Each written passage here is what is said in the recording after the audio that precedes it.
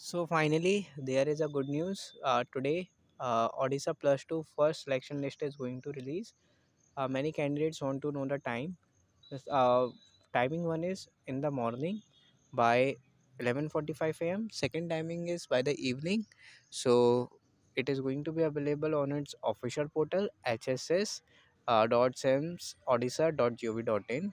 Okay, and uh, don't forget to take a hard copy for the uh, your first selection list.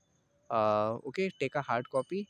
And this was the update for you. For more updates you can subscribe us. Stay tuned with us